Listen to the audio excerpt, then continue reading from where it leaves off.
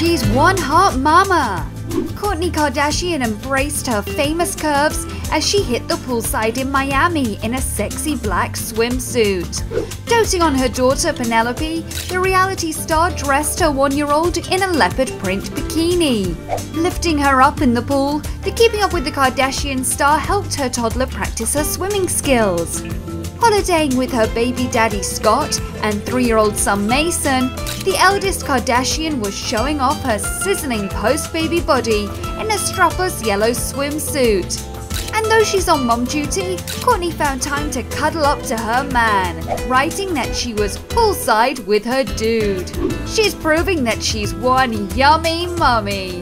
Kourtney is definitely taking Miami with her sizzling swimsuit body.